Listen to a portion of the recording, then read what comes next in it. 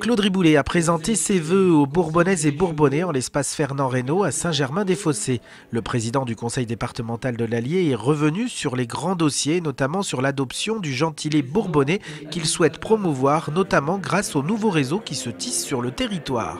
À partir du moment où l'Assemblée départementale a délibéré pour fixer le nom des habitants, Bourbonnaises et Bourbonnais, maintenant, au-delà de la fierté, il faut qu'on soit dans la promotion. C'est pour ça que le terme de mes voeux, c'est euh, dans l'Allier, on gagne à être connu.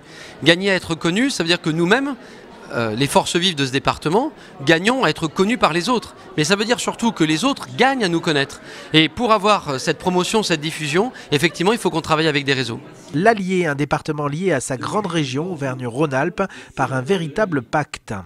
Le pacte allié, c'est une aubaine nous sommes convenus avec Laurent Vauquier, le président de la région Auvergne-Rhône-Alpes, qu'il y ait pour l'Allier la même chose que ce qu'il y a eu pour le département du Cantal, le département de la Haute-Loire et le département euh, de l'Ardèche. C'est-à-dire un contrat de financement de plus de 100 millions d'euros apporté par la région d'Auvergne sur des projets structurants, sur des axes de développement qui va nous permettre d'accélérer nos priorités de développement pour ce département. Autre volet de ce pacte, le déploiement du numérique.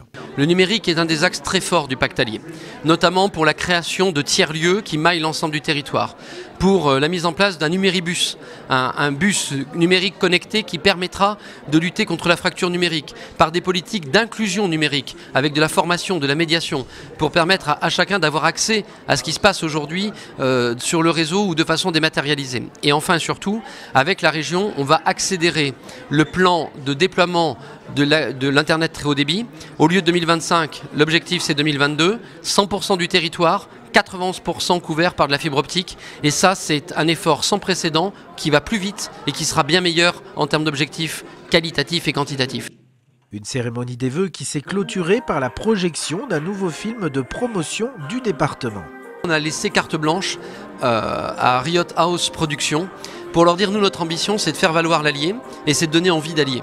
Et à partir de là, bah, ils ont fait un film qui peut paraître décalé, et d'ailleurs il l'est, mais la clé d'entrée de ce film, c'est qu'on n'est pas là pour promouvoir un territoire, on est là pour promouvoir ce qui se vit, ce qui se partage sur ce territoire. Et donc la clé d'entrée, c'est les Bourbonnaises et les Bourbonnais eux-mêmes, puisque les Bourbonnaises et les Bourbonnais se disent d'une personne qui gagne à être connue, et comme les Bourbonnais, l'allié gagne à être connu.